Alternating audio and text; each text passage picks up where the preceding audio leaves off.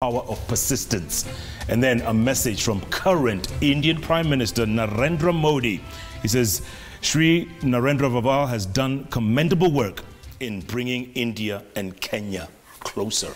Amazing. Welcome to the set, Narendra. Uh, it, you know, you talked about the relationship you had with Prime Minister Modi. You go way back, actually. He was a tea seller. Yes, And tell us about that story of how you grew up together. See, the story is that, of course, I know him since very long, since I was young. Uh, and your friend will be, when you don't have anything, the, your friend will be also the same. They don't have anything. Right. Because when you have something, when you have money, people will ask you the question, How are you? when you don't have the money, they will ask you, Who are you? So I was uh, feeling comfortable with him because he didn't have much of uh, availability of anything except the tea, and uh, I didn't have availability of the buying even a tea. So it was a very close relationship with him from very long before he bec- he went into the uh, prime minister seat. Mm, fascinating read, uh, Narendra. Uh, real quick, um, the, the publisher, Bloomsbury, Yes, they offered you a million dollars up front for Yes. this book. Yes, sir. Up front. This was back in May Back in month of uh, May to give my rights. to give the rights. Yes, this book was published three weeks ago, Yes, sir. right? 18th of August. It's already a bestseller. It has become bestseller last week. It has made that million dollars, which, by the way, you refused, right? I, I refused. I, I didn't go for it. I said, let me stay as a partner so that whatever the profit comes, uh, we share it. And your profit, your every bit of your profit, Yes. is going to charities. In Kenya, for Kenyan children, education, uh, food, and uh, medical. Wow. Worldwide, whatever the income will come. You know, take us through your beginnings. Uh, many people are so moved by the fact that you started uh, very poor, sometimes going to bed hungry, and all of a sudden we find you being one of the richest men in Africa. Forbes Africa put you on that list. Uh, take us through that journey of how you came to Kenya. You became a priest assistant first. Uh, did you see yourself coming into this position of owning a multi-million dollar company? See, I, I, I come from a Brahmin family, uh, which is a priest caste. In India, there is a four caste. One is a priest caste. And I never dreamed about that I will be, um, I will have money, I don't know, billion or whatnot, but I, I was expecting that once I have 100,000 rupees, my story is done for my life. And that will give me uh, sufficient income for my life because if I put it in the bank, I'll get maybe a thousand or thousand five hundred rupees a month, and that is sufficient in India to run a family in a month. So that was my dream, uh, and that's a big dream for me that time. I did, I, I do come from a poor family. It was very big struggle. Many times I have eaten. Uh, uh, it is in the some chapters in the book also, but eaten uh, what you call unga, because when you you know when you buy unga, when you take it to the grinder and put it into the container and carry it on the, so you get hungry because I was very very young boy, and when you are young you get hungry. Today you, we walk for eating. That time I was working for getting the food. So I used to come with the, the, the container of the, the unga, which is very hot. So I used to put my hand and, and, and eat it, and it was so tasty that I don't, I don't know uh, how to explain, but it was so tasty that I, I, I used to get satisfied by the time I reached. So that was the time. And uh, God sent me here as a priest in 1978 in the temple. After three years, I went back to, to India. I came back, started a small shop in Gikomba, uh, which is uh, Steel Center Limited. Me and my wife, I got married in Thika. So I think God helped me to, to grow, and we worked very hard. Me and my wife both worked very hard, and we we worked together and we kept our people together. Still, the people who are working with me are working with me. Wow. Billions and billions of dollars later, you say you want Kenyans to soon have or own a piece of Devki. You've written in your book by 2020. Yes, sir. Y- You want to list this. I would like to list the, the company.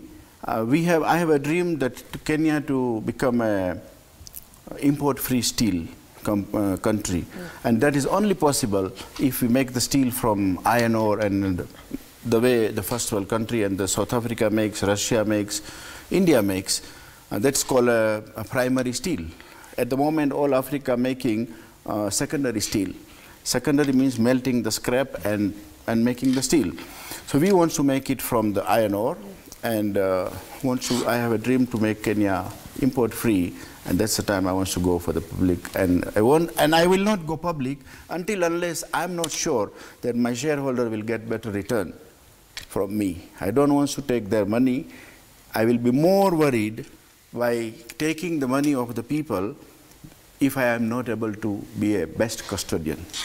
And let's stick on business because uh, you drew the attention of Aliko Dangote, who happens to be the richest man in Africa. Yes, he, he is. offered to buy uh, the company. You said no.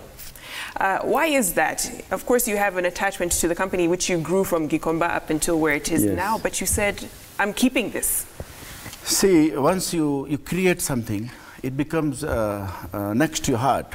And second thing, my company has got the policy of uh, uh, a lot of CSR. And I, I will be honestly, I will be telling that I, I don't need money. I need money you don't know how much I have. I don't know how much you have, but still we are sitting on the same table. So money in the bank, maybe bank is enjoying. Bank is telling that who is billionaire, but nothing comes with you. I had written one small saying in my book that when we die, uh, in Indian we put plain cloth without any pocket, so you are not going to carry anything with you. And in the grave, there is no cupboards that you can put and the, and the, and the gods, uh, the workers who comes to pick you also doesn't take corruption. So you are not going to carry your money. So we want to leave it here. What we, your question was that I want to go, as I told you, when I'm sure that I will be able to give better, better return to the people, that's the time I will go public. Fascinating story. Amazing. You know, I have to ask this because uh, when it comes to the humility that you exude, many people think you have airs about you. Mm. You're a billionaire. You rub shoulders with very powerful people. Uh, you call many of our presidents, former presidents, close friends. But yet you maintain this humility. Where does that come from? Uh, because when I, uh, uh, frankly speaking, and everybody should enjoy that, that when you are sitting on the elephant, you will not be able to notice. Uh, you will see dog walking very small like ant. But when you walk down on the earth, you will see exact size. And uh, that's what I do. I would like to walk on the earth. I want to walk on the, on the ground. And I want to enjoy each and still I go to the kiosk and eat and that sometimes gives me a lot of joy. I eat with my workers and I never felt that are, we are different. No, we are the one. And I, I, I enjoy so much that that's people are missing it. Know, what do you want people to take away from this? Because really, the writing is very simple, by the way, yes, nice sir. and simple, and you know you can get through it very quickly. Yeah. What do you want people to take away from this long walk to success? This book will, why I have written, is uh, reason is uh, not for any thing to gain because my business is earning better than the book, but I want to gain that I want to see in Kenya and all world over the children are studying. I have seen many parents in Kenya have sold their property to educate their children.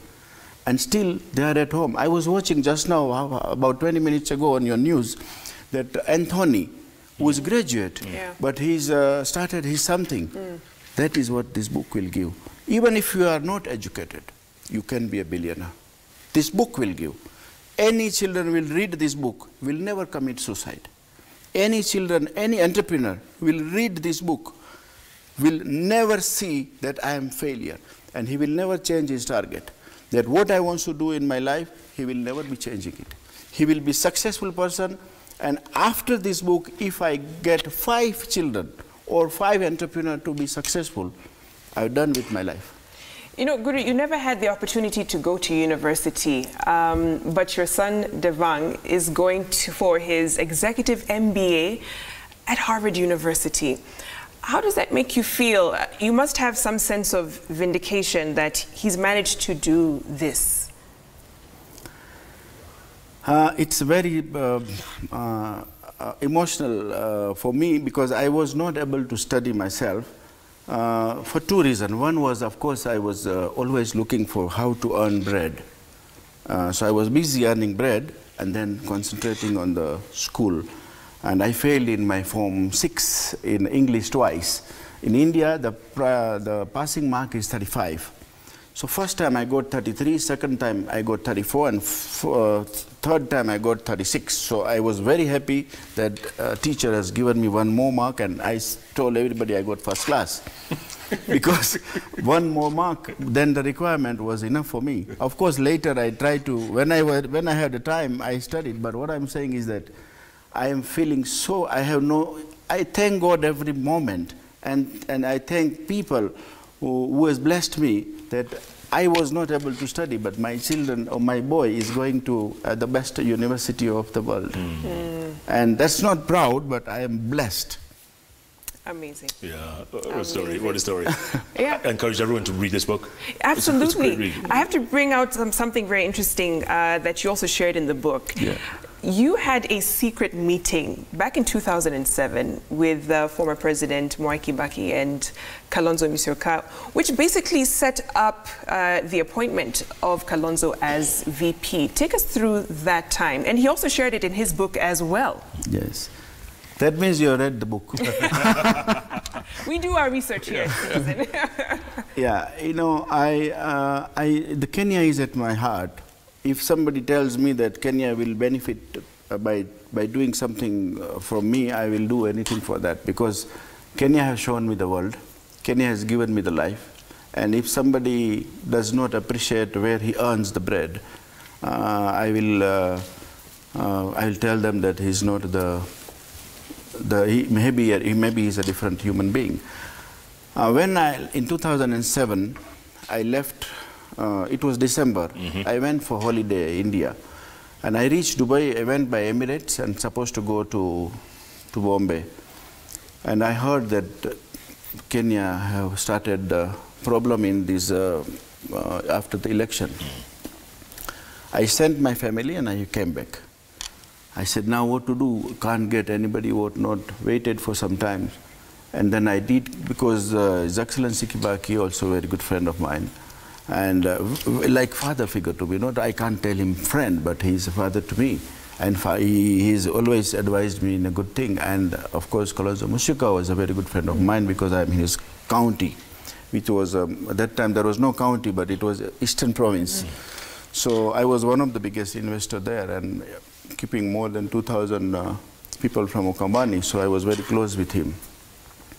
I sat with the both separately and convinced very difficulty and invited them at home for the dinner, which was also very difficult. They came around 8 o'clock in the evening. His Excellency Kibaki came and uh, His Excellency Kalonzo Musyoka came and uh, there was somebody with him. I, I have written the name uh, in the book. Uh, meeting lasted, lasted about one and a half to two hours. It was very heated, but at the end it was very good. We had dinner peacefully and agreed uh, on that. He both left, and uh, end of the day, it happened, and that was very good for me because uh, that gave the peace to Kenya. Yeah. And I, I was more than blessed to, to have such a big leader to listen to me, not because of I had something, but because of I think I had something to give back. Mm. Yeah. And I was so proud and thankful to them. Geothermal, you're yeah. venturing into that now. Geothermal I wanted to do. It is written into the book. Yes. Uh, frankly speaking, uh, for certain reason, we are uh, we may not go for the geothermal because of uh, some result which we found is not correct, and also uh, we are not very ready for the geothermal with the partnership. Yeah. Bottom line, post handshake, March 9th, mm. which is exactly what six months ago yeah. today. September 9th, March 9th. Are we on the right track? Yes, handshake, we are on. The, see, the, the, the, something what I wonder in Kenya is, uh, if president does something handshake, everybody start doing handshake. If, if president says now no corruption, then everybody start talking mm. about no corruption. Mm. But it should be there all the time. Mm. It's not that somebody have told, then we start. His Excellency is doing the wonderful job, I must tell you that. He wants to leave the legacy, but he can't do alone. Yeah. And if everybody is pretending that we are doing, we are supporting, it will not work. They have to prove that they are with him and they are doing it. If they will not do, they are not supposed to be leaders. If they want to do something, they have to make sure that there is action is being taken and it is support is being given. His Excellency has got four years to go and he wants to leave the legacy. He is the one who encouraged me to put the industries, create the employment, nothing else. And I, I want to do anything what I can do, but I want to go for it and I want to make sure that within next three, four years time, we employ directly 10,000 people. I want 20 other people to do the same. You know, in an age of uh, tenderpreneurs, where most people have built their wealth doing business with government, uh, you've decided I'm not touching that area. So you've not done business with politicians or government. Why is that? And you've still managed to be this successful. See, the, to do, by doing the business with the government only, you cannot be a good businessman or a rich businessman, or you, can't, you can make money. No, you can make money. I had an uh, experience in uh, where, many years ago in Steel Center when I was trader. Mm. And uh, I was listening from the, some uh, some other traders that we are supplying to so and so company in the government. We supply 10 pieces, but they give us for 20 pieces, the whatever the items. Mm -hmm. So I said, oh, isn't it uh, something you are doing a scene? Because I was a priest, so I have to preach what I, uh, I what I practice. And I, I, what I practice, that's only I preach. I don't preach anything more or less than that. Mm. So then, no, no, no, this is the way to make money. I said, okay. Same time I decided, that was 1986, that we will never do business in any department of the government, even if it is straightforward. It is better to stay away and give it to your distributor. But we don't, because if I don't do anything directly, my staff may do something wrong which is not ethically correct. Mm. So we don't do that business with the government, any department. When you die, that day will come? Yep. What would you like them to say about you? What's the one thing? What who wants to say uh, what the others people yes. want to say about me? I don't want. Once you die, you have disconnected from this world. We don't want. I don't want even credit from anybody. I, we, I am not, we don't want to live because once again I say that we are not going to go with, even if you say something good, Jeff will say or Victoria will say Guru was a very good person. I'm not going to listen to that because I am not there. So whatever people say, it is not material for me. The material for me is that I have left the legacy, I have left the people of Kenya, at least five of them or ten of them, whom I have brought from zero to hero.